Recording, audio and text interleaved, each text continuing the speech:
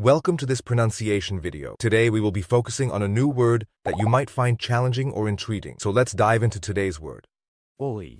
which means Not a recognized English word without proper context or capitalization.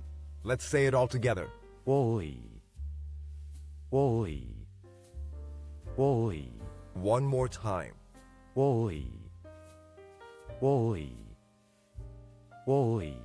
Thank you for joining us on this adventure in pronunciation. Remember, language is a journey, not a destination. Keep exploring, experimenting, and expanding your linguistic horizons. We'll see you next time.